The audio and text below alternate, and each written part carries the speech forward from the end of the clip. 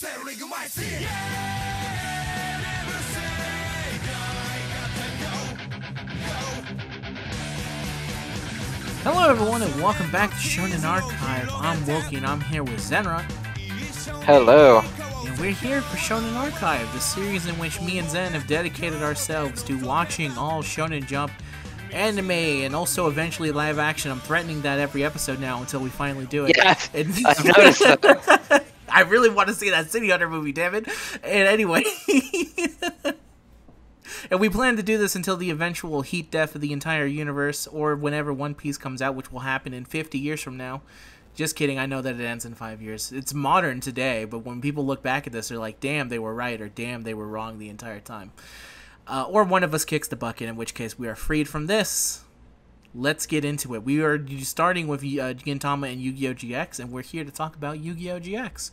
Because believe it or not, it's episodes 21, 22, 23, 24, 25, and 26. These are the good episodes I was promised last episode. Yes, I told you that there is light at the end of the tunnel. Yes, and these were some fucking fantastic episodes compared to what we've been getting. This is like drowning, not drowning. That's a, it's like being in the desert, and this is finally the cool sip of water.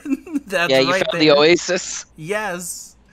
Oh my god. Thank God. Thank God. you have no idea how bad last week was.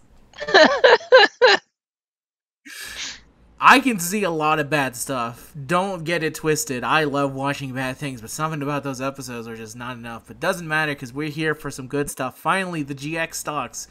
We can do a legit stock report where hopefully there's actually good income for for a change. But let's start here. Let's start with episode 21, Zen, which is called The Duel Off Part 1 in English, and The Fusion Seal, Judai versus Misawa, first part. And then I guess we can also transition into The Duel Off Part 2 and uh, yeah, Summon because we don't talk Wild about the Man. actual yeah. duels. Summon Wild Man, Judai versus Misawa. They really like to just spoil what happens in the episode in Japanese. Yeah, There's- that's that's like the old anime thing where there's like, r- like the one Yeah. where um, Goku the dies. Dragon Ball one where it's like, yeah, Cell is defeated, and you're like, oh okay, Cool. Yeah, actually, those are actually really good episode titles. Those are some of my favorite. Where it's like, oh no, what's Um, gonna happen next? And it's like heroic sacrifice is the name of the next episode. yeah, and it's like, oh, all right. No, please. All right, go ahead, Zen. Tell us about part one and part two. So part one, uh, they are choosing like who's going to represent Dual Academy against North Academy. I wonder where Dual Academy is located, where it gets to just be called Dual Academy, but the other ones have to have like a regional name. But fair, anyway. the, the one in the north is really the hell up there. Yeah, it's it's it's real north, uh, and they're arguing that it should just be Kaiser because he's obviously the best one. But the uh, North Academy is going to use a first year student, so Dual Academy wants to do so as well, and they're trying to choose who. Uh, and so they try to choose between um, Misawa and Judai. Well, the, in the beginning they're- they they're say the just Judai, but then Crowler says, "Oh no, Montabin." Well, I think it's I think it's uh, Kaiser that that nominates Judai, right? He says Yeah. that you should use him. and everyone's yeah, like, "Oh, and then- Yeah, and Kronos is like, no, I'm a I'm the, the villain of this season technically, um, so we can't have that. no, and so he says they boy." should use uh, Misawa instead. Yeah, And so they decide that they should duel for it uh, to win the the right to be the representative. Um, I think that they don't know that right away because this was done in like a meeting, in like a boardroom meeting. Mm, yeah. Uh, and so they they tell them later on. I think the the Slifer professor tells them that they're going to duel for the title, and so uh, Misawa's like, "Aha! But I counterdecked you like an asshole. I built a deck really purely to beat yours." um, and so This has maybe one of my favorite scenes when he's doing the counter picking because I think Jade uh, Judai is just like, oh yeah, I'll do a Masawa, no wetter. And then they cut to Masawa and he's like in a computer going, Elemental Hero, lame wingman, known properties being formed together with Burstinatrix and Avian. If I can just stop Avian and Burstinatrix, I can stop them. Oh no. But what about Thunder Giant? And he's like looking up Thunder Giant. He's like doing a He's full, like, crazed on a computer, like in the middle, like just looking insane. yeah, Meanwhile, Judai's like, yeah, okay, yeah, okay. yeah, cool. let's do it. And so I think it's a pretty again, I really do like the contrast between the dual styles of Masawa and Judai, where Judai is just so laid back and Masawa is just that dude who's like, I need to look up I'm adding this specifically to my deck because I know that this is very top in the meta right now and I need to stop it in case I ever run into it where Judai's answer to if he ever ran into that card of the meta, he'd be like, I'll just win. That's my Yeah, response. perhaps I'll just do better. Yeah. Um, they run into like a reporter, but I don't think you know it's a reporter right away. I think it kind of comes up later. yeah, a Um, little bit. He does and he- sneak in, but it's like not sure why. He could be a, uh, a spy for all we know. yeah, he he snuck into the school. Um, and we get a flashback that shows that he was at one point a duelist who quit because he got his shit wrecked by Kaiba so hard that he could never duel again. This is another Um, fantastic part because he has like a war flashback when he sees the skyscraper card. Yeah, he sees Judai's card, and he, he apparently was an elemental hero player, and Oh. Kaiba fucking obliterated him. destroyed him. I want to see that duel. I want to see Kaiba fight elemental heroes so badly. You have Uh, no. are you ready for a major spoiler? You What? totally will later on. Oh, okay, sweet. I can't wait. Continue on for you. Um, yeah. So then uh, the guy's like sne- snooping around about the uh, disappearing students, and Judai is an idiot. And he's like, "Oh, you mean the terrifying haunted abandoned dorm where all the students go missing?" And the guy was like, "Oh, bet." Um, yeah, basically. yeah, that's almost exactly what happens. And so then he goes to uh, like investigate it. Um, and then we cut to the duel as uh, Misawa is looking like a fucking lunatic still at his computer, like googling counterplay for the shittiest archetype in the world. Um, and they decide to go in, and the duel starts as the reporter is like doing this weird. I don't really know why the reporter's here in this episode, these episodes, because I'm pretty sure in the end his he like gets inspired by watching the duel, and he's like, "Can't risk this school I have it here because in my then these notes. kids uh, will have nowhere to duel." Yeah. But his, his his his reasoning is tough luck, kids. And then at the end, he's uh, the funny thing is that he's like kind of like uh, it's similar to the Manjome arc where he's trying to understand, to learn, to love dueling because it's a it's it's really funny because I think at the beginning here, Judai is really teaching people to love the game and not worry about wins or losing. Win wins or losses that doesn't really matter. What matters is that Yu-Gi-Oh's fun and you should just play it um, which is a very funny lesson to kind of teach. Would eventually would be taught again in the uh, Arc Five, Arc V, where it's that, but with a war, which we'll have to get to eventually when we. Somewhere down the years down, we'll have to go through that giant thing. But it is kind of nice where it's kind of like I guess this contrast of someone who's kind of lost love in the game. He's someone who uh, played off meta and got destroyed by the meta, which the meta is obviously Seto Kaiba. The man is the meta. if you were to ask him, yeah, Kaiba is the meta. I am the meta. I summon blue eyes in attack mode. Um, so he's kind of lost love of the game, and then he's kind of basically learning to love it again by watching uh, Judai Duel. I think that's kind of why Yeah. he's here. But in the overarching thing, he does nothing. And it's funny because that is ultimately a lesson that uh, gets revisited later on in, in GX. Hmm, interesting. Yeah. But uh, so they're they're dueling, and the big turning point of the duel here is that uh, Misawa uses Curse Seal of the Forbidden Spell and uses it on polymerization. So Judai can't use polymerization anymore, um, which is like the big thing because he basically like sealed off Judai's ability to fuse. Um, so he kind of gets the advantage for a while he summons fucking uh, I remember finding this really funny. He summons um Hyo Zanryu, which was like never a good card. Never. Never in its whole existence has that been a good card. Uh, but Misawa uses it here for reasons I can't explain. Uh, it was really fun. I, that really felt like they're like, "Fuck, what card does he fucking play?" I don't know, man. No, Uh, what's a Yozanryu. card? And the funny thing Yeah, is, is what's they a had, what's a card with like rocks? I did- they did eventually make this a card, but this was not originally a card in um. this was not originally a card when it was first released. There was no card that could easily summon uh, this fucking card. Um, eventually, they did make it into a card. Its effect is not literally summon this specific. It's it's Summon Yozanryu. Yeah, No, that would be hilarious. It's special summon from your hand or deck one level seven or lower dragon type normal monster in face up defense position. So still bad, but not as bad. yeah, as... it's not good, but it's not as bad as you can only play Yozanryu. And it's crazy because he Um, also mentions that the only reason he's able to do that, he has to be like, they need ten cards on top of it. Which I was like, what fucking game are you playing? Where Carboneddon gets on the field and you use 10 cards to summon one, here he's on you, a 2100 attack beat stick.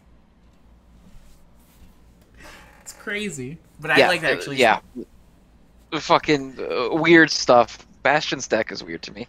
Uh, Yes. It's a counter deck that Um, also plays weird. Yeah. So Judai tries to get around not being able to summon by using uh, Bladedge Mhm. because he is the the fattest elemental hero that doesn't require fusion to use.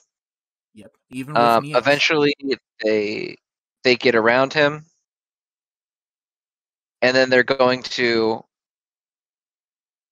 Uh, oh, that's right. That's when he uses uh, Wild Heart, and then he fucking top decks Cyclone Boomerang, which Judai does this shit all the time, where he top decks the exact specific equip card that he needs to uh, win the day on the exact elemental hero that he has on the field. Because like Cyclone Boomerang, any other time you drew that card, it's fucking useless. Yes. But he gets it right here.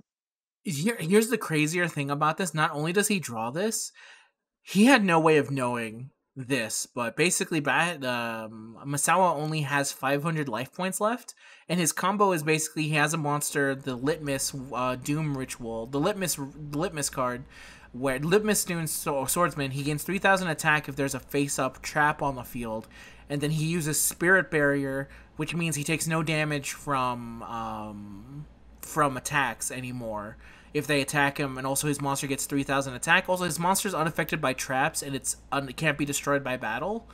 So the only way for him to win this turn is to have the world's craziest top deck to have to draw Elemental Hero Wildheart and Cyclone Boomerang, which will win him the game. Because when he uses Yeah, Spirit because Barrier, Cyclone Boomerang destroys the Spirit Barrier, which gets rid of the last of Bastion's life points. Yes, and the crazy thing is that when the spirit barrier is destroyed, when he activates it, he goes, "I know, I play Cyclone Boomerang." It's like, how did you know? It's like, damn. I, if I was Bastion, I would have been mauling hard. There's no Yeah. top deck. Yeah, I would have been too. How the fuck do you top deck Cyclone Boomerang? That's so yeah, it's so crazy. But yeah, the the game ends, and he is now officially the um The, the rep for the duel against North Academy. Yeah, and then the the the the reporter, the journalist, goes up to um, Oscar and says, "I'm not going to look into it further. Don't worry about Well, it." he says he says he's not going to break it. He's not going to break the story because originally he was going to break the story and ruin the school's reputation to get rich, and then he Mhm. decides he's not going to do that anymore, and he's just going to try to find the kids out of the like the good of his heart, basically. Yes, he he turns from an evil press sneak fuck into a honest journalist by the end. Yeah, yeah. He's like a, a, a fuck shithead, evil journalist in it for the cash, Yeah, uh, and then he of- becomes like a good guy.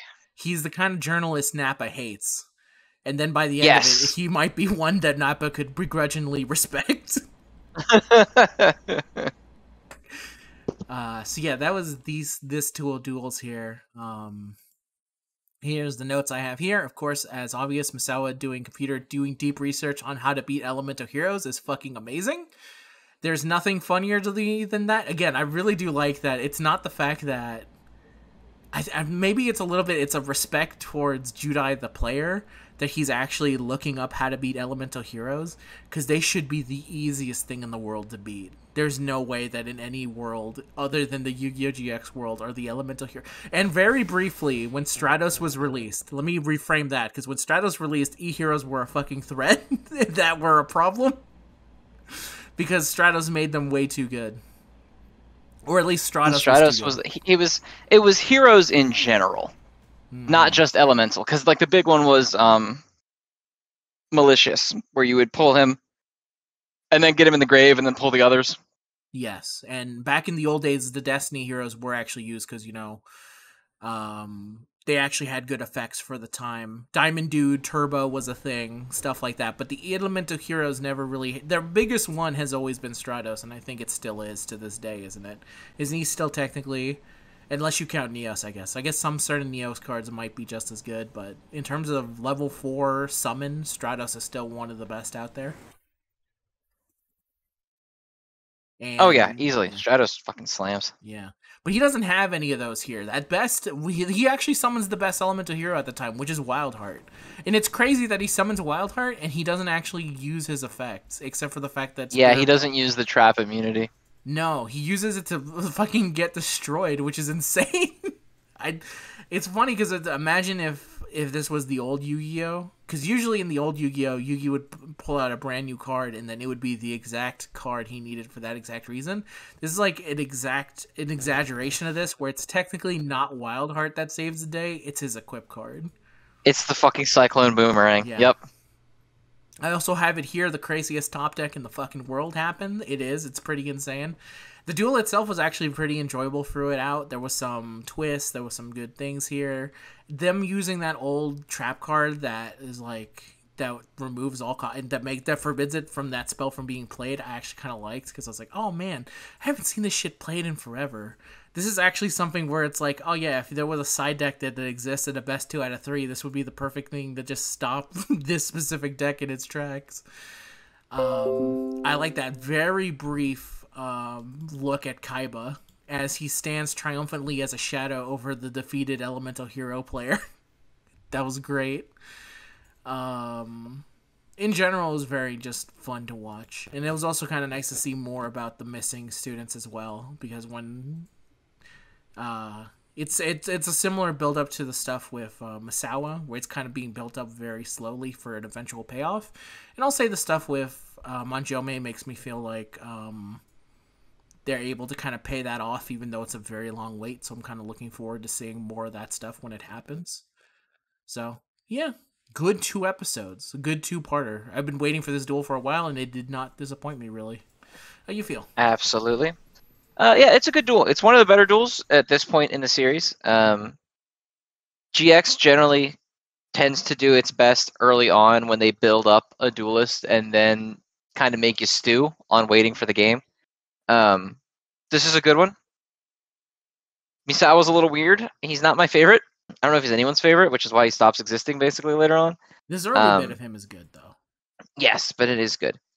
Uh, and then I also like wrapping up the ep- the episode like recaps with the adaptation differences from the wiki because they're always very interesting. So in the Japanese version, Misawa says that he may have actually miscalculated and made the wrong choice by only focusing on removing fusion.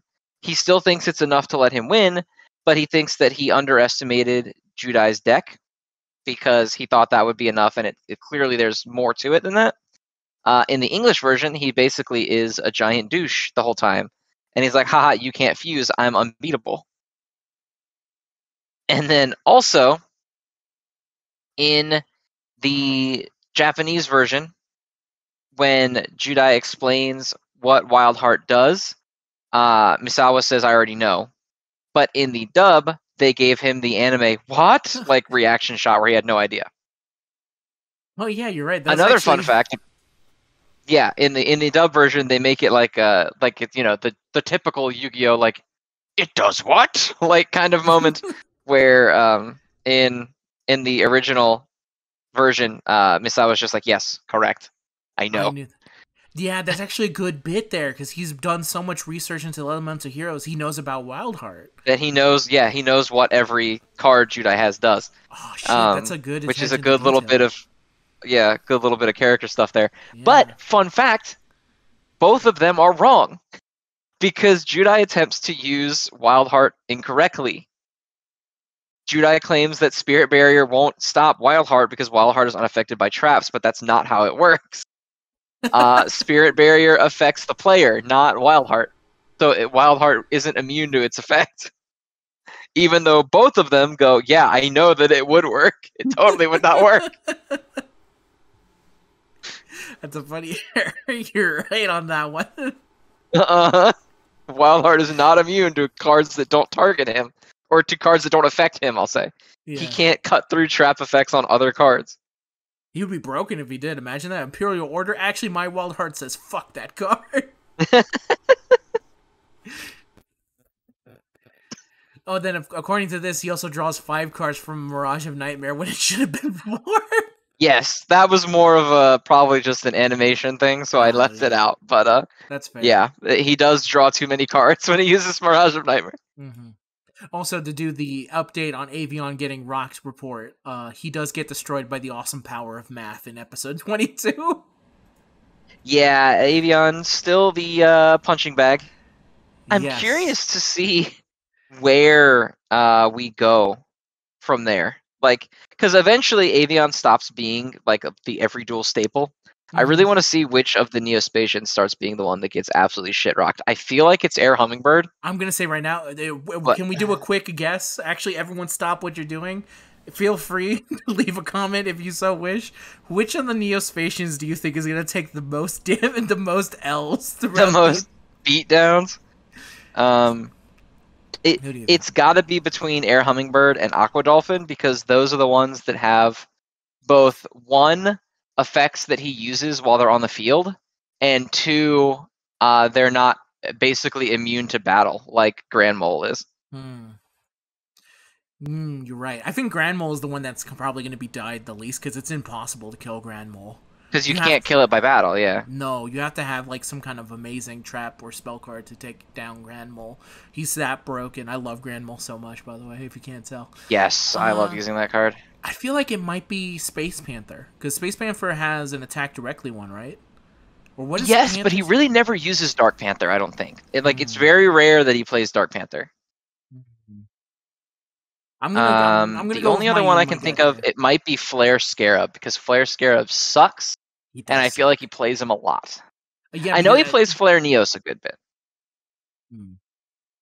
I'm gonna go. I'm gonna with Panther, but I think you're also right on the track that I think it would either be a Hummingbird or Aqua Dolphin.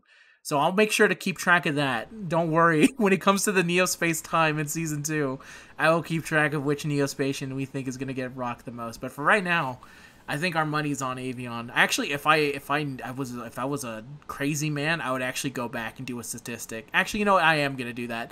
By the end of the season one, I will we will tell I will tell you which elemental hero took the most taking actual damage. Oh my god.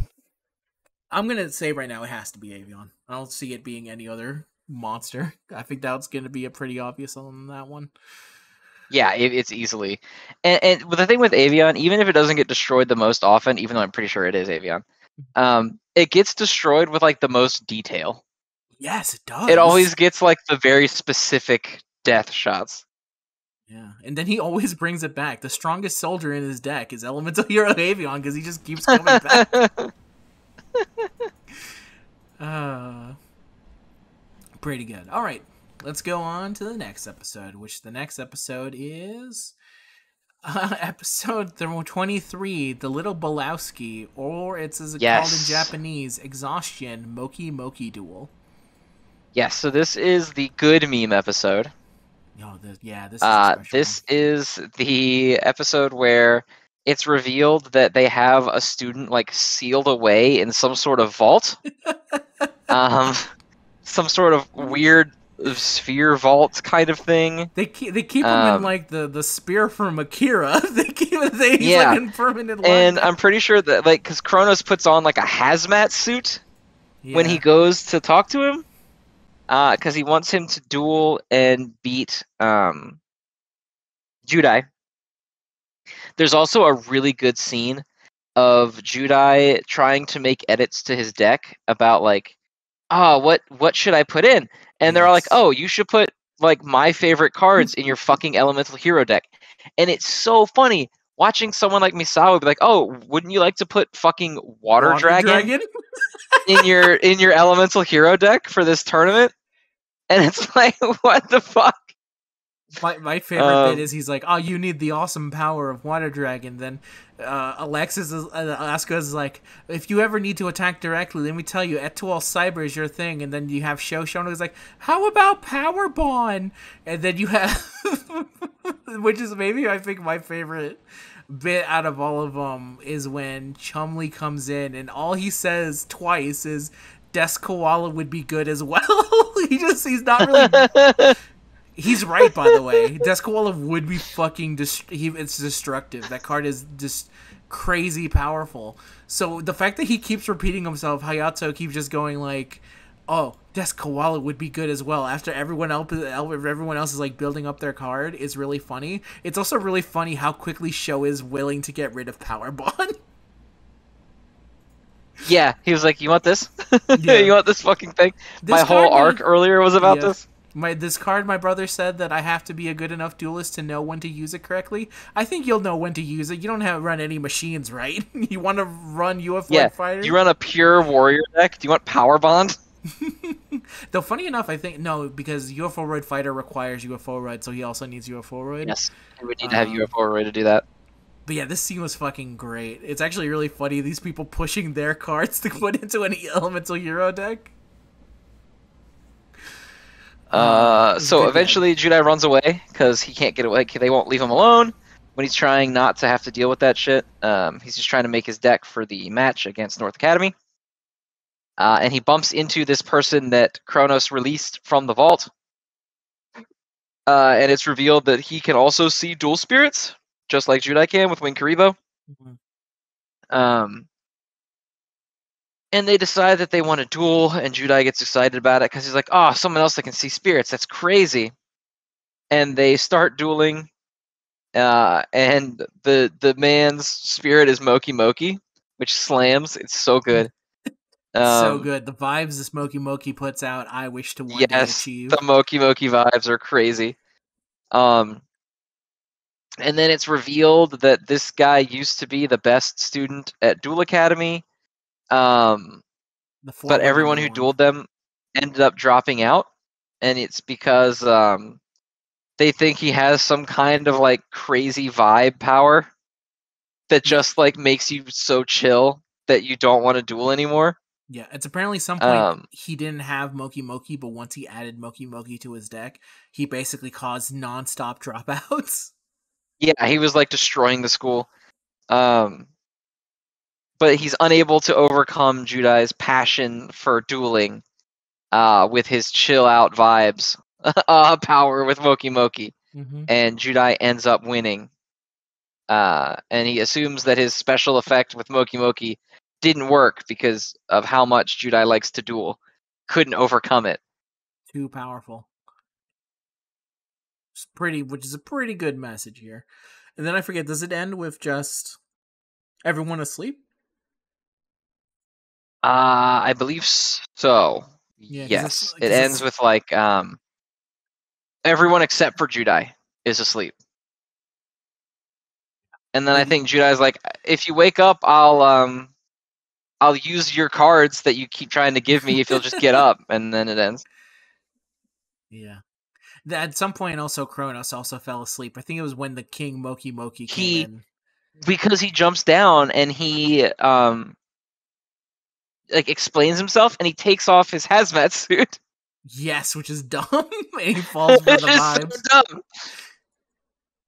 I, I, you know, I'm gonna be honest. When he jumped down there with his jet jet powers, it it hit me all at once how stupid this premise for how good this episode is. Is to not only like I imagine like because obviously this Dual Academy is owned by Kaiba and the Kaiba Corp. He had to have gotten like some kind of invoice saying, "So we're gonna need a suit." Because we're going to put one of our students in an isolation spear because he keeps making people drop out. And Kaiba's looking at that going, well, all right then. Give him the money. If that's yeah, if that's what they need. And then he has an internal monologue. Moki Moki, huh? Is this what I can use to take down the Pharaoh? He starts looking up Moki Moki plays. That's actually what I think Duel Academy is, is that it's actually a long-term con for him to eventually find the strategy that could take down Yugi so he could go visit him in the afterlife and take him down. But yeah, this is one of the best meme episodes in the series, Yeah. uh, easily. hands down this episode was so fucking funny. Both i think intentionally and unintentionally i think it can be enjoyed in both ways. It was just a whole lot of fun. They actually i think here's the thing that was the difference between this episode and the previous ones is that moki moki as a card is inherently funny. And it's inherently funny to fight a The moki moki concept deck. of Moki Moki is funny. Yes, and a Moki Moki deck because this actually was a deck back in the day, which was the Moki Moki Beatdown, where you had to use a bunch of like like tiny monsters and you tried to overwhelm your opponent with the power of basically shit monsters. and it's uh, real fun. That's I think the big difference between this meme episode and the other ones. That the other meme episodes were just like not. They were like cards, but they weren't like good meme cards. There wasn't a real meme deck, you know what I mean? Like Giant Orc, not really a big meme deck you can build around that with Goblin King. The Maiden in Love's not a real card. The Tarzan card wasn't a real card. The monkey had like fucking two monkey cards. yeah, the poor monkey got Yeah. screwed over.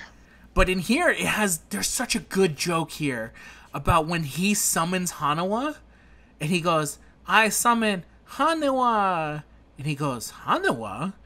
Yeah, it's Hanawa. Oh, it is Hanawa. There's like a uh-huh. moment, and then Yeah, when and it's just like the shittiest monster. yeah, and then, and then when he says, "Yeah, it's Hanawa," the Hanawa goes, "Hanawa." he goes, "Oh, it it, it is Hanawa." okay, it's fucking good. And then also when he destroys the monsters, the Moki Moki freak out, like the fucking face of Moki yes, Moki. when the Moki Moki gets angry. Yes. Uh, there's also the voice of Moki Moki, which goes Moki Moki, Moki Moki, and then when they summon King Moki Moki, he goes King Moki Moki, King Moki Moki. Fun fact: they changed the Moki Moki voice in the dub version. They actually Really? redubbed Moki Moki. What does he sound like in the dub? He sounds like a. He's like Mokey Mokey. it's super fucking weird. Mokey Mokey. I think that probably goes with Moki the, Moki. based off of this being a reference to the Big Lebowski. I assume there's a lot more stoner humor in the in the English dub version. There is, yeah. Oh, that's pretty good. Um, some actual specific notes I actually did put down specifically for the duel. Um, uh, Hero Barrier, which is a card that Judai still use, I put down here. Hero Barrier is like a worse version of Negate Attack. I don't know why he plays It this is. card. And eventually, it's revealed that he also has negate attack, so he just uses both. That's crazy. And I don't know why you wouldn't just use another copy of negate attack. But uh, anyway, also in a side note here um i saw in the comments for the crunchyroll you can look down here there were people arguing about um what cards is judai actually keeping in his deck i think someone was saying he removes fusion gate at one point because i was like i'm pretty sure this is the point where he removes fusion gate from his deck because he never uses it again so i thought that was just very interesting the idea of people trying to keep track of what an anime deck is actually using at this given point in time because it's like, oh yeah, I guess some of these, in theory, he would be removing and adding cards over time. You just don't know which ones. Yeah, it's kind of like the thing with I, I've never bothered trying to do that when it comes to the Yu-Gi-Oh anime. Cause I'm just like, oh, he has this card now, and like I don't, because like like when Yugi in the original series, you know, eventually he stops using the Beaver Warrior, and we're like, all right, well, I'm not gonna look into when when he edited out Beaver Warrior. It's right when he added Dark Magician Girl. That's what that's what I'm saying. He dropped he dropped the Beaver Warrior for the for the He Dark dropped Magician Louise Girl. for the Dark Magician Girl. So sad. Louise is waiting for his phone call back. He's just so badly. He was in the group shot. Give Louise justice. Give Beaver Warrior justice. That's all I ask. Ah. So yeah, I think it was a very enjoyable episode. I think it can be enjoyed in both kind of different ways of seeing it. Um, how'd you feel about it? It's great. Phenomenal episode. This is like early GX is rough, and everyone who says that is correct, but this is when it's like peak. This is like quality early GX. So we're gonna add it to the peak list right next to uh. Gintama episode sixty in terms of sixty-one. in terms of peak moments of the franchise, is gonna be this one and the episode called "The Big Bolowski" or "Exhaustion Moki Moki Duel." That would be great to do out of context, being like the peak list, and then on the top is like episode sixty-one, and then it's episode twenty-three Yu-Gi-Oh! GX Exhaustion Moki Moki Duel. Uh, well, I'll keep a track on that for later, for funny fun times, so people can yell at me later when someone who doesn't know the, when it leaves my general area of people who understand the joke and they start getting mad over the fact that they're only two Yeah, when it leaves your target audience and it's just angry people. Yeah, when it's people going like, "What the fuck?" The, episode sixty-one and Gintama, but not any of the good ones later on. What the fuck are you doing, Moki Moki Duel? And then my response is like, "Hey man, Moki Moki." That's all I care about. I'm just here for the mokey mokey. I'm just here for the vibes, for the good vibes, bro. So, what are the differences in adaptations then? So the adaptation differences in the the Moki Moki duel episode. Uh, in the Japanese version, they make a like a Pandora's box reference, which is actually like topical, uh, because they say like, uh, he's opening Pandora's box, but he hope that you know he hopes that it will give him hope or something, and Pandora's box always has hope at the end of it. Mhm. So I was like, okay. Um, the English version leans more heavily into the Big Lebowski because the character's name is Balowski, which is obviously just Yep. Lebowski with the B and the L switched. Of course. Um, and then the English version cuts out a shitload of his backstory. That's a shame because his backstory is super interesting, actually. Yeah, The they cut out every single flashback except for the very last one. I kind of like this idea of someone who was number one, who was obviously, you know, top of the game, top meta, and then one day he met Moki Moki and his life was forever changed. Where he doesn't follow any of the strategies or anything. He's just like, I just want to win with Moki Moki, man. And he does. My bro, Exactly. And my homie, Moki Moki. What I need now is I need Kaiser's reaction about hearing like what basically I want the prequel series where it's this guy and Kaiser when Kaiser first joins the school.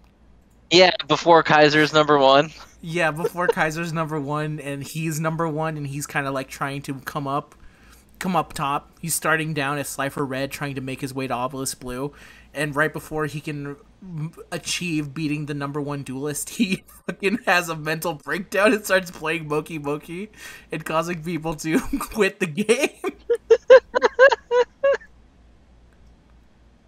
Yu-Gi-Oh! GXX, the before times. That's what I want. All right. Next episode, episode 24. In the English version, it's called The New Chazz, or as it's called in Japanese, Revival Manjome Thunder, which is a better title. Yes. Yes. So we'll explain the Manjome Thunder thing when we get to the version Mhm. differences because it's impossible to Yes. not talk about it because it's a huge part of uh, Manjome's gimmick going Yeah. forward, and it does not translate at all into English. So it's No. completely different in the dub. So hard.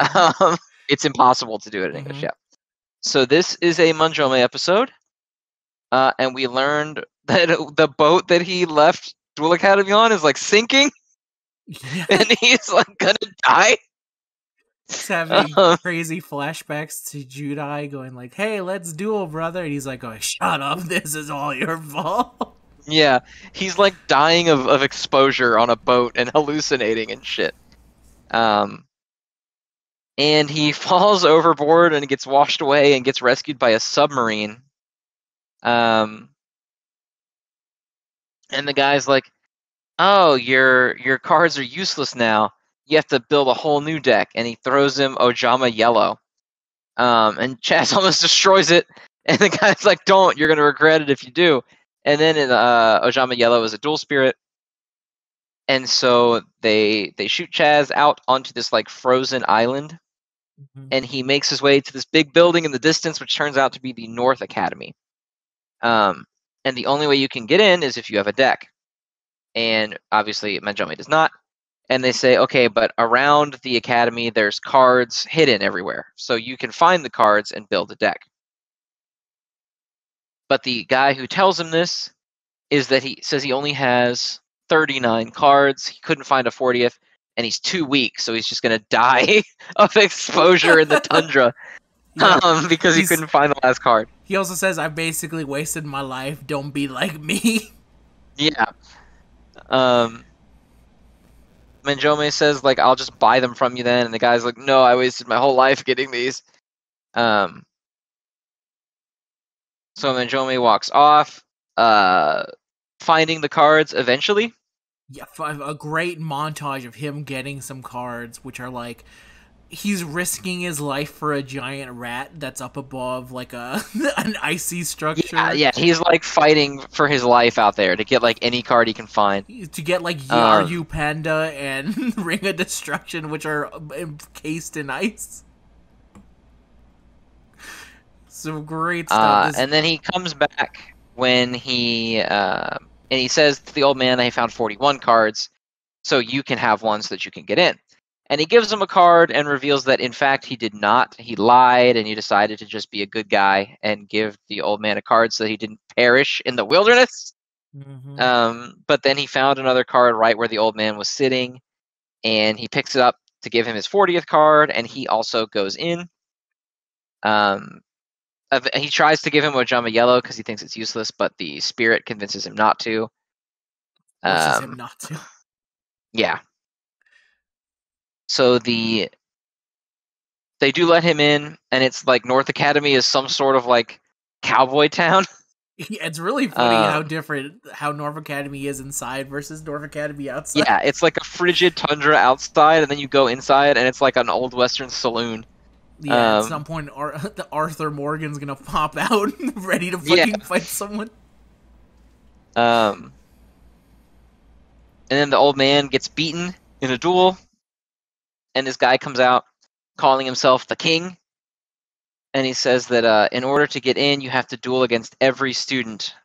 Um, and then whenever you eventually lose to whoever, you you like get in at that rank. So like if you beat twenty people and then you lose, like you're ranked at wherever you the last win you got was. Um, Manjome is beating the shit out of everybody because he's just that good. And then there's four more left who are the four emperors. Uh, and Manjome duels them all at once in a four on one duel. And then uh, still wins. Because I think it's because of Giant Rat. like Yes. helps him save the day. Which is great because there's a scene where he's like yelling at Ojama Yellow, I think, and he says basically he's talking about how small monsters can be useful even though they're trash. And then they have this very sad shot of Giant Rat holding a uh, holding a skull, being super sad about being basically talking shit about. Yeah, he's like very like he's like offended.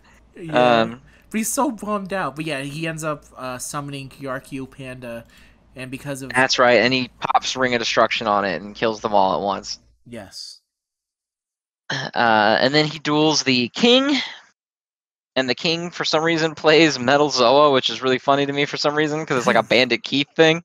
It is really funny Um, because yeah, it's super minus as well. Metalmorph plus Zoa is better than Metal Zoa. Yes, it is. Metal Morph plus the original card is basically always better than the metal Mhm. version of the card. yeah, because Metalmorph is Um, much better than the shitty card they tribute Yes, to. the shitty effect on the other cards. It's actually very similar to um, Neo Bubble Man and Metamorphosis, where Metamorphosis, what you can get from Metamorphosis, is ten times better than anything you could get out of Neo Bubble Man. Yes. Um, and Manjome wins, and he becomes the number one student at North Academy. And then the the old man reveals that he was in fact the chancellor of North Academy the entire time. Um, and because Manjome beat everyone, he is now their representative in the upcoming school duel. And he reveals to Manjome that the representative for Duel Academy is Judai, Mhm. and Chazz is like, "Ah, my rematch time," and then that's the end of the episode. which is yeah. This episode was really good actually. Fucking It's- great, yeah. Yeah, it's been a while since we last saw Manjome after he got literally fucking washed. The man was so so crazy minus that he basically minus his way onto a boat. That's why it doesn't surprise me that the boat eventually capsizes. That's just another shit thing that's happened to him. another shit play based off of everything he's done. But this like training arc where he's kind of like it's kind of like a character redemption at some point because you even have that moment where he has 39 cards and he gives one away. Um, he has 40 cards and he gives one away to the old man so that he can go in there, which is not something that I would ever think of his character would do up until this point. So that was a very cool way of seeing it that way. You actually get to see him do actual good tactics because I feel like the unfortunate thing of him having to fight, he basically was a jobber, but he was never established as actually being good. Actually, his duels established him as being absolutely shit at the game. so these duels, that's he. He basically loses to everyone all the time, uh, despite the reputation of being like hot shit.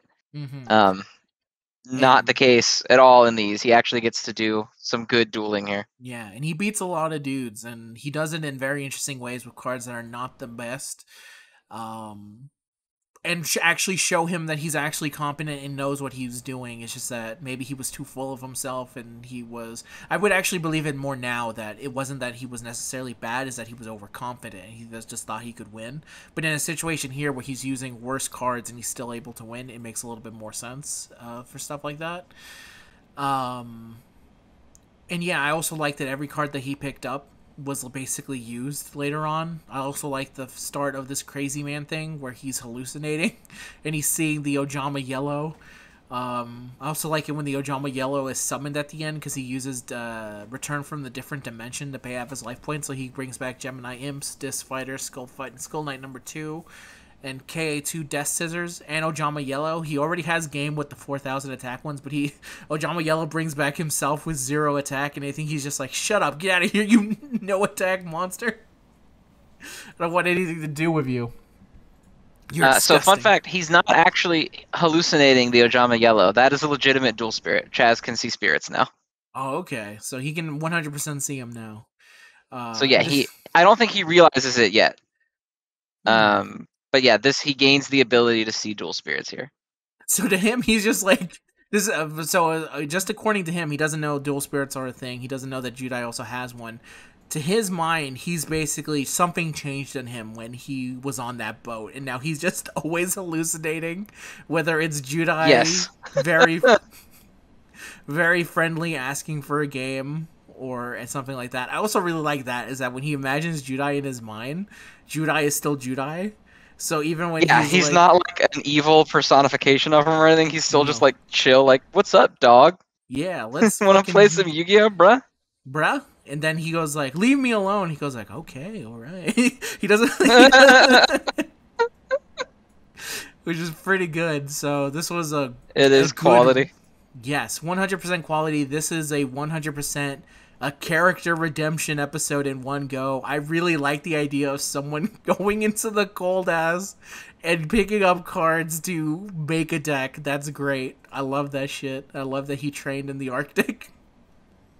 And I think it's next episode where he actually wears the North Academy um, uniform. But He wears the uh, black jacket. Yeah. yeah, that's officially I think the the end. I think the next episodes are the the cementing into the end of it here. But this is the start of basically the revival of this character who has. Uh, probably on purpose been completely shit on and now he's actually someone that i actually legitimately like where i'm like oh yeah i'm kind of down for this guy winning it's unfortunate he's not because judai's the main character but i can still like him and i think he's rad from where he duels here so i hope that eventually i do get to Yes. him win some games Uh, and this is the birth of Manjome Thunder, Mm. which only makes sense if you know Japanese. So Yes. basically, uh, Manjome insists that he be referred to formally. So he, he gets really mad if you don't put the honorific at the end of his name, which Judai never does. Um, and so he, he always would say, like, he says it before this, actually, too. Um, but this is where it becomes a thing. Or he says uh, Manjome Sanda, as in he. The translated version of that is basically saying that like that's Mr. Manjome or Manjome Sir or whatever to you. He's telling him to, to say Manjome San because he wants him to put the honorific on his name. Um, but the way he's saying it sounds like Sunda so, or Thunder. And so Sunda, the students at this academy mistake what he's saying to be Thunder instead of the command that he's giving them. And so they end up calling him uh, Manjome Thunder. And so he he gets his chant now um, actually, I don't remember if he gets the chant here, or if he just gets the nickname. He gets the he gets a nickname here. The chanting starts next episode. The chanting is in the okay, yeah. So he gets the nickname here. Um, in the English version, they can't do that because nobody fucking knows Japanese, and the joke does not work if you don't know Japanese. So they change it to the Chazz. Not as good. No. And instead of the 1, 10, 100,000 Manjome Thunder, uh, it's just Chazz it up is the chant. yes. Not Chazz nearly as good. No, I will say eventually Chazz it up is very funny to say in like a ironic way to say Chazz it up, especially the way he kind of the the voice actor for Chazz, the English one, he does his best to make Chazz it up try to be something. Which I'll give him points for that, and it is kind of fun to say Chazz it up, but it's nowhere near as fun as to say Manjome Thunder. No, Manjome Thunder is much better. Yes. 100%. This is a case of like specifically they tried to find like um a pun and the only pun they had for Chazz is jazz. So jazz it up, chazz it up.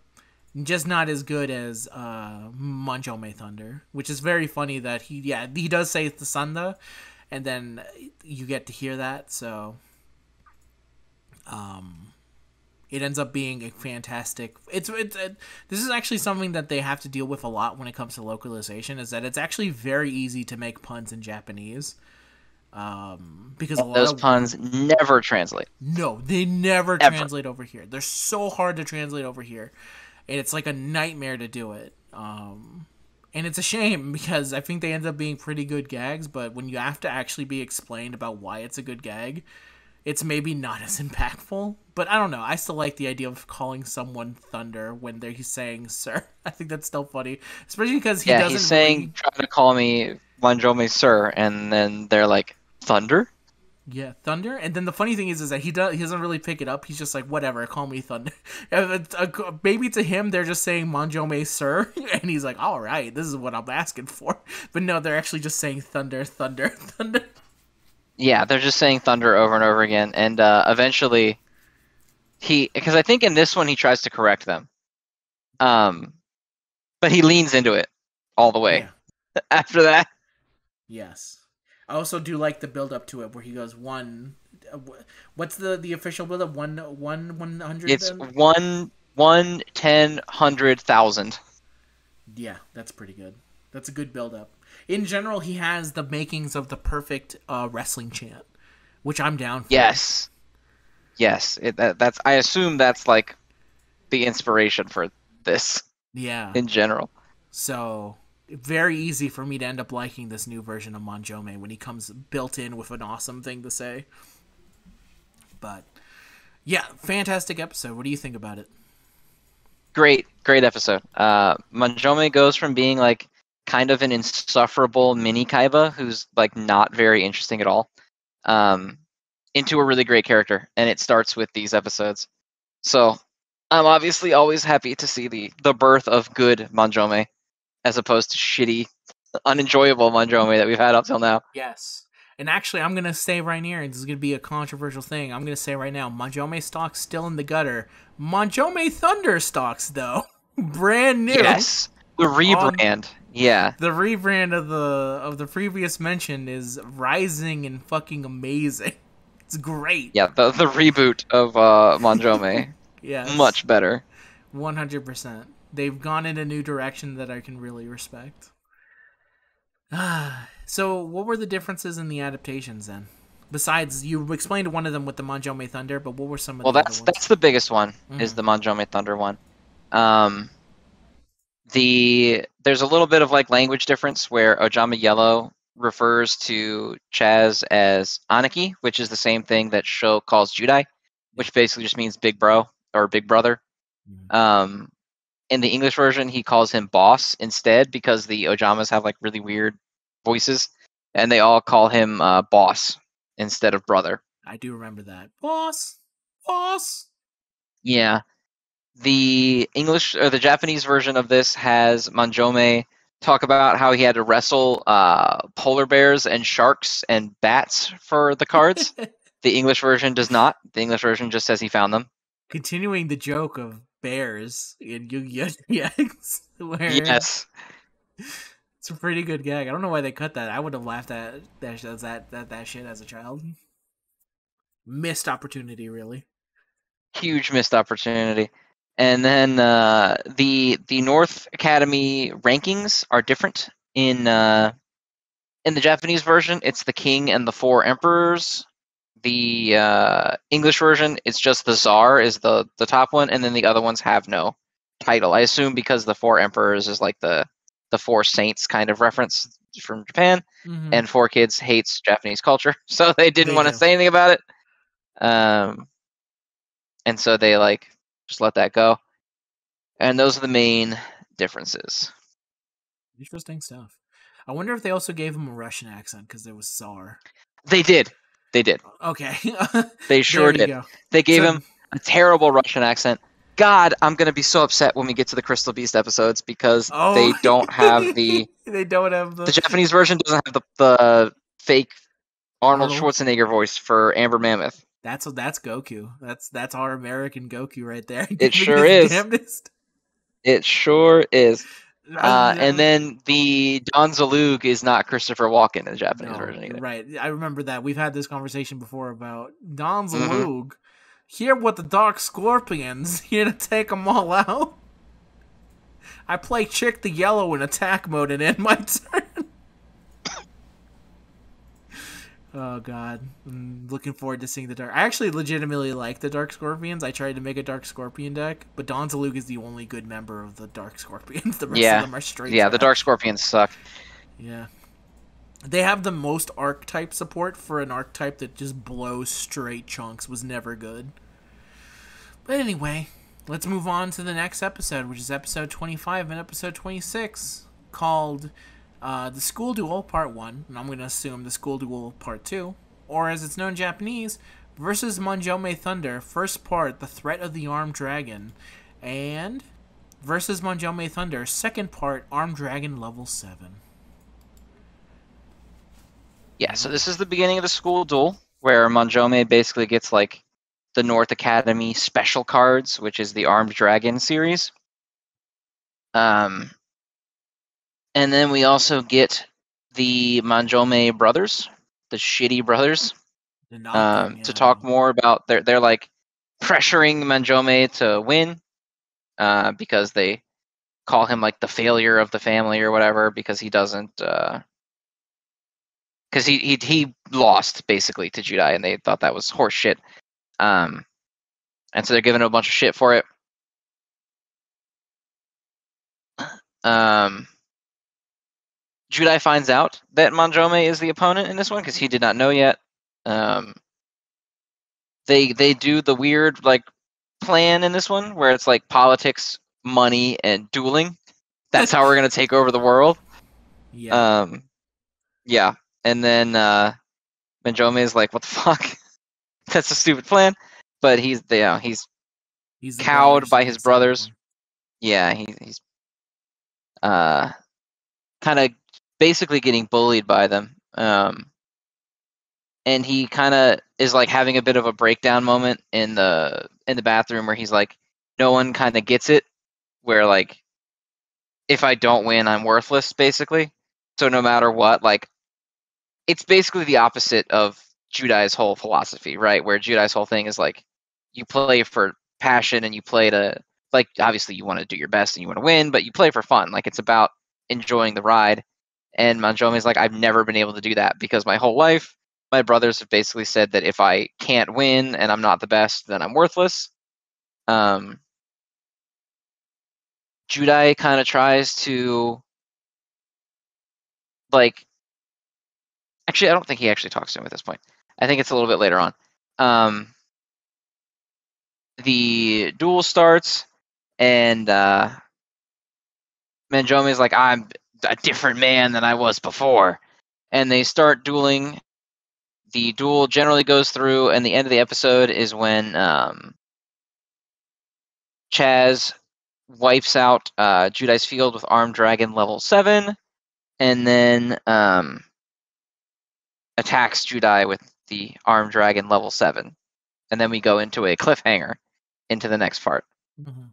This is also the episode where uh, Avian gets destroyed again because he gets uh, he's one of the monsters caught in the blast of Armed Dragon Level 7's Yes. Genocide Cutter. Good Which- name, by the way. Good name, real good name. Great name. Great name. No denying on that. Um, yeah, we, we can get into the exact feeling. Actually, no, we can start here. There's enough stuff here that are that we can probably go here, talk about it here a little bit before we go into the next one. Yeah, at least the stuff with like Manjome's brothers is pretty good. Yes, a lot of the stuff with Manjome's brothers was very good. The continuation of kind of fleshing out his characters a little bit more, understanding his headspace a little bit, um, understanding where he's coming from, really also setting up another dynamic, as you mentioned before, that he's in a, another opposite of the, what Judai kind of believes in dueling, which is to have fun. Try your best, try to win, but at the end of the day, it's a game and we should all have fun. Where he's never, like you said, never really been able to have that kind of moment because all his life has been trying to win this game. That's all his brothers care from him is that he needs to win. Once we get you, we'll have the political landscape on lock. We'll have everything on lock, and boom, we're done. We're good. Um, and that's a lot of pressure to give to a kid who is basically in high school.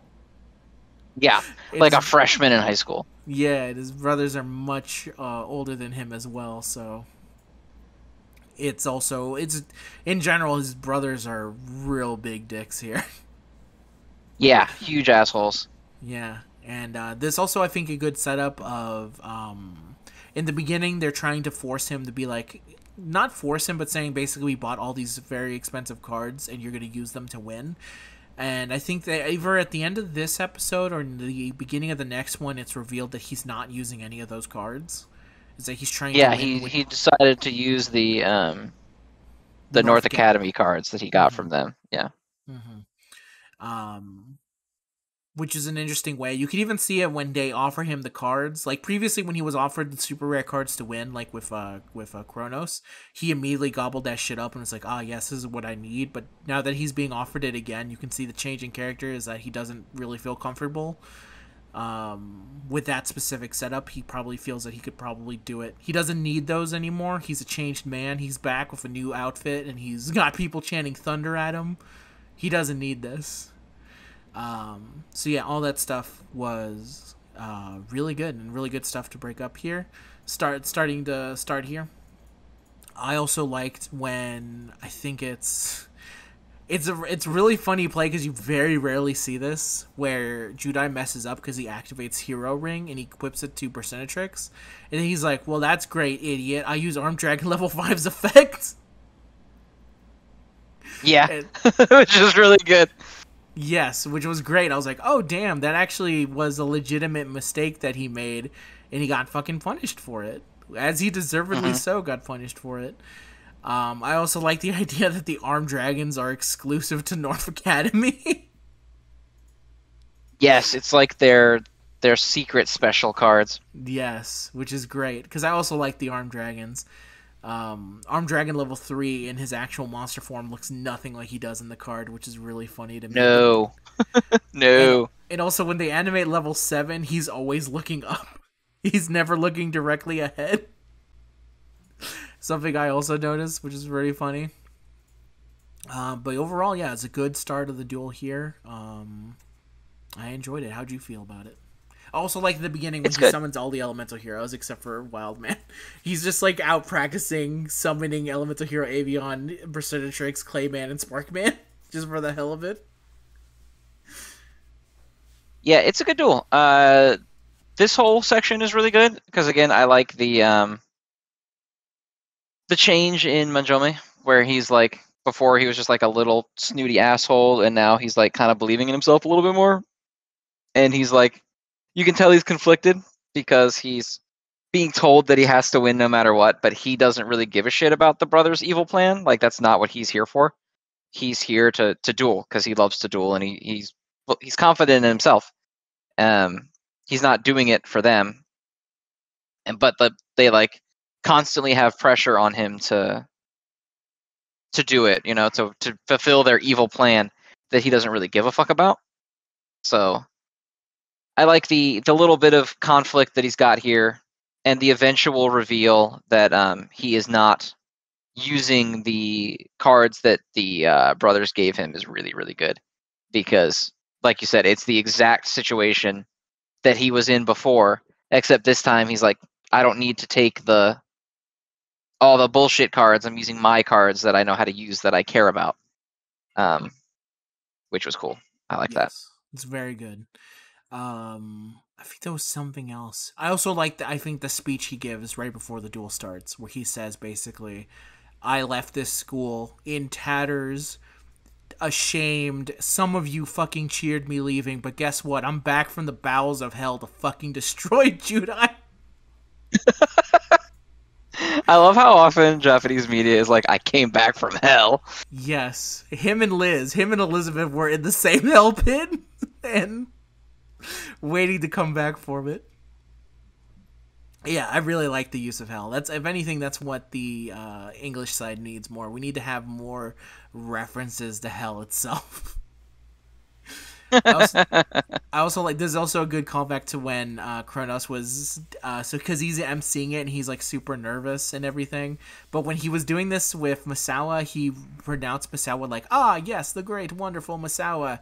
And then when he goes to Judai, he goes like, "And Judai." And then for this one, because yeah he calls him um he calls him dropout boy doesn't he yeah, and this one he, Accidentally? He starts. He goes like, "Drop out, the uh, yeah, yeah, Judai Yuki." Oh, he's like, he very quickly goes like, Yeah, Oh, yeah, that's right. He catches himself. Yeah, right at the last minute. He's like, ah, yeah, but fuck, Um, I actually want this guy to win. In general, I also like Uh, Kronos's little. I think he said it. I forgot to mention it with the Misawa one, but there's a point where when, when Misawa's doing it, he's like, "Why the fuck isn't Misawa in Obelisk Blue? This sucks." Which is really good. Uh, you just bringing up the fact that Judai showing up has completely screwed over everything. But yeah, I'm ready to talk about the next episode and the end of this duel. Alrighty. So the end of the duel, uh, quickly approaching because it does finish in this episode. Um, Judai gets hit by the direct attack from Armed Dragon at level seven. He is uh, manages to get out Wing Kuriboh to save him at the last minute, and then we know no, no, that he um, activates Hero Spirit. But that, but that pulls he- Wing Kuriboh, right? No, he draws Wing Kuriboh, but he activates Hero Spirit to prevent him because he only had 1600 life points, so a direct attack from. Oh, he draws into Wing Kuriboh. That's right. Yeah, yeah. Yeah. So um we get a little reveal here that uh the, the official reveal that Ojama Yellow is in fact a duel spirit. Um because Wing Kuriboh points this out to Judai. There is um they do the same thing that they always do where Judai's like thanks buddy when he lets Wing Kuriboh get fucking blasted so that he doesn't lose any life points Yep. it's it's uh it's great. Yeah, Um, especially because Wing Kuriboh faces down death by just going, "Hmm," and then he gets Yeah, fucking he just makes that little noise and then fucking gets obliterated every time. Love it. Um, Masochism. they go through the rest of the turn of the plays, etc. Um, Judai is kind of getting shit wrecked by Armed Dragon right now. Chazz is kind of like, you should quit because you're gonna look like an idiot. Um, and then Judai's like, uh, I've been having a fucking awesome time. This duel rules. And then Manjome gets kind of pissed off, and they have a moment where like Judai kind of explains that he he's sad for Manjome that you he can't just have fun. That dueling can't be about fun for him. It has to be like a stressful, shitty thing. Um Judai ends up winning with Flame Wingman, as he does in season one, Hell yeah. as he as he does in like every duel. Um, I will mention that he the brothers use- come and he had to use literally look like they're- alive. He had to use Warrior Yes, returning alive for Avian, but Avian also was destroyed twice this episode.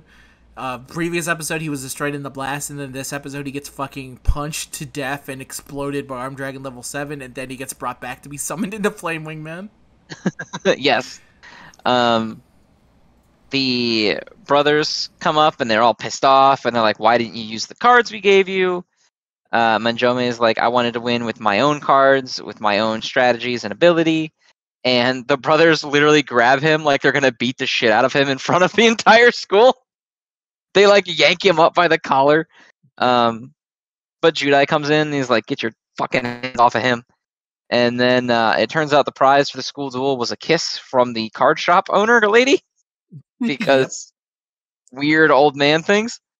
Um, former Miss Duel Academy. yes. And then um, Judai gives him a bit of a speech. It's like, yeah, you didn't win the duel, but you did win against your shitty brothers because you're not letting them use you anymore. And Manjome is kind of like having a PTSD flashback, and he's like, everyone's just going to make fun of me again, like they did when I left. Um, everyone's just going to treat me like shit again because I lost. But then everyone um, starts doing the Manjome Thunder chant for him, which is actually a really great moment. Like, I fucking love that moment.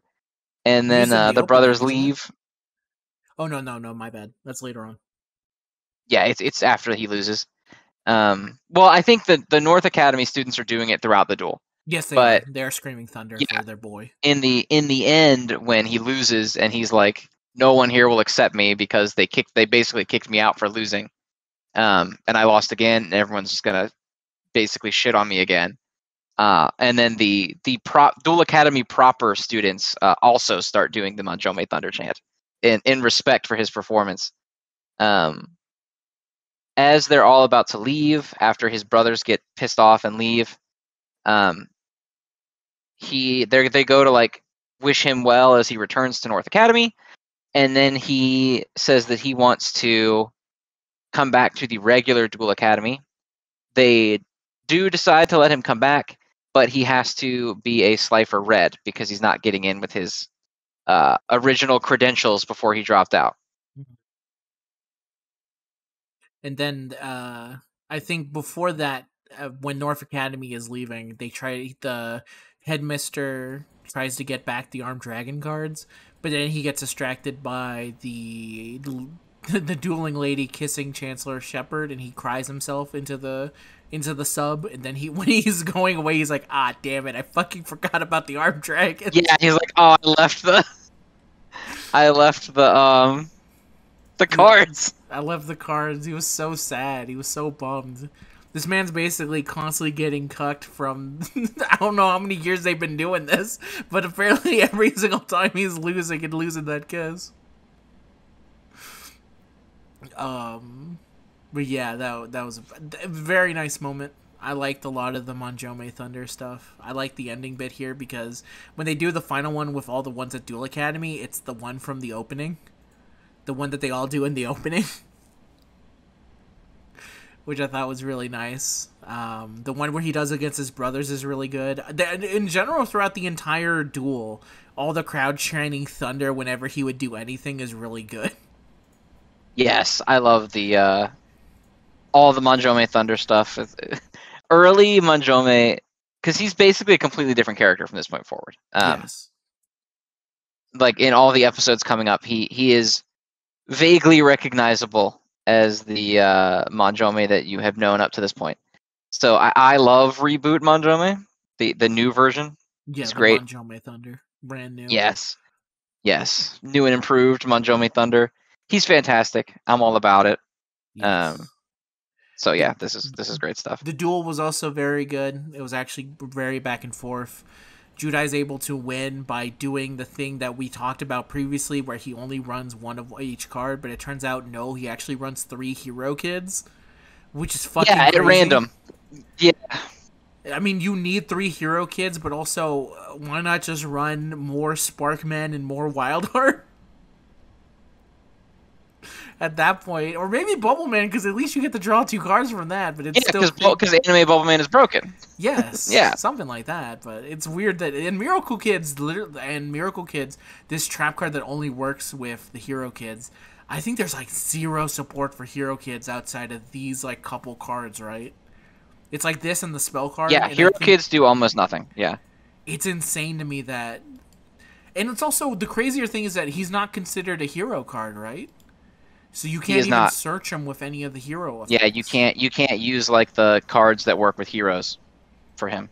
Yeah, because in the way that the archetype is done is um it's in all capitals so if it's not in all capitals it's not considered part of the archetype on the card Yeah. And he has his own special one where it's literally just hero kid, but not in all capitals. It's just hero kid. So he's not considered an elemental hero. He's not considered anything. he can't use any of the supports with him. It's really weird that they decided to be like I don't know. It's very weird. Everything about hero. I've always been very confused about hero kid, and I'll always be until the death of me. It's insane to me. there's a But- lot of weird elemental hero support that's like not good like rottweiler like what Um, yeah, Rottweiler also doesn't make sense because you also need to use polymerization before setting one on the field, and then you want him to be destroyed. It's not like and then you of- also can't like get him you just have to draw into him because he's not like a you mm. can't search him or anything Nope. Nope, you can't. You can't use Hero Barrier. He's the only card in your hand, on your field, or anything. He doesn't really. He can't be used with H Heated Heart, I think, because Heated Heart requires Nope. it to be an element elemental hero. It's overall Mhm. bad in general when it comes to them.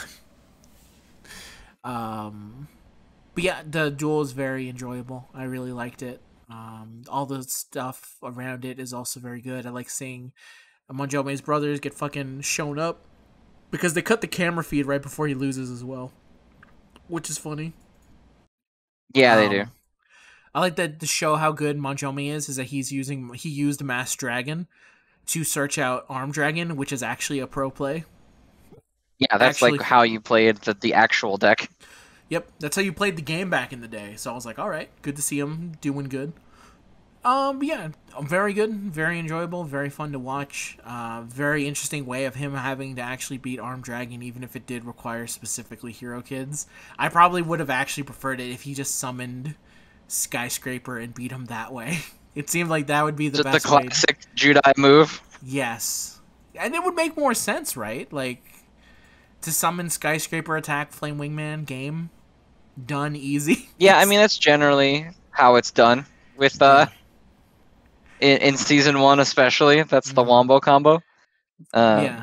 Because it feels like they were just trying to not redo that again so he doesn't repeat the same tactics. But the hero kid tactic is just teaching kids that hero kids might be useful. And we shouldn't be lying. yeah, well, yeah. Never don't trick the kids. No, it's not. Don't right. trick the kids. Uh, it's pretty good. But yeah, very good episode. Fantastic two episodes, and I'm really glad that we finally got to some good shit when it came to GX. Yes. Long in the making. We've hit when GX starts becoming peak fiction. Finally, We've reached the point. We're getting there. Putting it on the list. The Mokey Mokey duel and episode 61 against Gintama. Peak fiction. Though I would also include probably Manjome Thunder because it's it has been very enjoyable for that. Yeah, I think Uh, Manjome Thunder is the point uh, up to now where like my favorite episodes up to this point are when uh, Manjome kind of gets his his backstory and his like rebranding, where it's like Kaiba was kind of a little shit, and then you know you you learn more about him, and you learn it's because he had like a shitty dad, and his dad was a gigantic asshole all the time, and like there was all that drama there, and so it was nice to see that Manjome had something similar because they Mhm. they really bill him as just like rich douche for a lot of the beginning. Yeah, they do. I also kind of like the fact that he got the Ojama, the Ojama brothers, because it kind of also kind of goes with the fact that uh, Manjome is a brother, and so it kind of fits with that kind of theme there too. So I liked it. And, you know, three Ojama brothers, three of his brothers, good enough. Works perfect sense to me. Close enough, yeah. Mm-hmm. So it fits. So yeah, Uh, what do you want to say the differences in these were for adaptations? Then was there anything specific?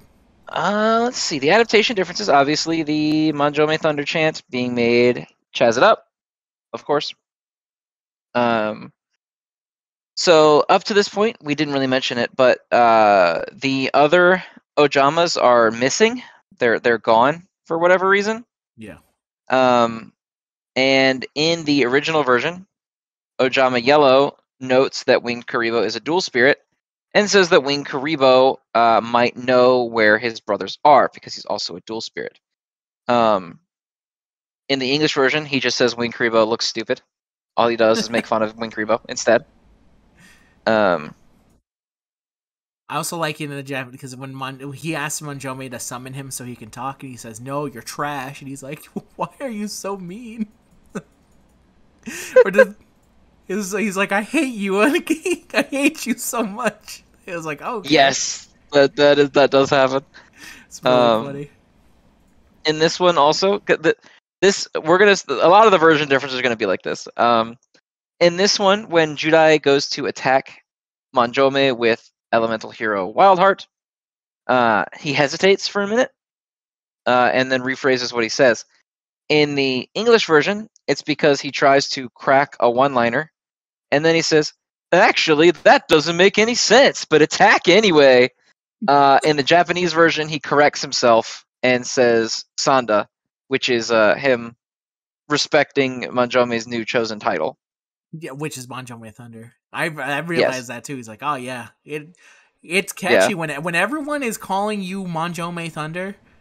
I think you can get people to accept your new name. I think that's the thing I've learned here. How do you accept people accepting your new name? Have a crowd of dudes just passionately chanting it behind you, and they people will And remember. then um, the only other change is that in the Japanese version, the principal mentions that he forgot to get the Armed Dragon cards back before they left on the submarine for North Academy. Instead, uh, the English version, he says that he'll be back next year to kiss uh, the card shop woman, Who's called Miss Dorothy in the uh, English? Miss. Dorothy. Yeah, Yeah. Hmm. Interesting. specifically Miss Dorothy, Oh yeah. Just not. Dorothy. Miss, Dorothy. Dorothy. Just to let you know her availability. it's perfect. Yeah, that's a good set of episodes here. Next episode, I think we only have to do four. Right? Let's see, 27, Uh, 28, yes, because it's think- it's two two parters, and we'd have to do six if we went beyond that. Because there's a okay. actually, yeah, it's best that we just do four because it's a three parter after that. Oh, um, okay. Yeah, we'll so, it's best to just do the next four. Which are going to be episodes 27, 28, 29, and 30. So look forward to more of that. Now that it seems to be kind of rolling, they got the good version of Manjome going. They got a good, decent stuff here. The season ends on episode 51. So I know for a fact shit's about to start rolling off. it's going to start popping off. Yeah, we're we're starting to move toward the actual plot now. Mhm. Um, All I know is I know at the end there has to be a graduation duel with Zane, but before then there has to be the plot of season one. There has to be one, so we're gonna start getting more pieces of that going forward. And I can't wait for it because if they follow in this kind of quality, it's gonna be a good ass time watching for sure. But that's it for this episode. Thank you very much for watching it, everyone. As always, we will. We thank you very much for watching. Till next time, you guys have a good day. We'll see you in the next one. Say goodbye, Zen. Goodbye, everybody. Peace out.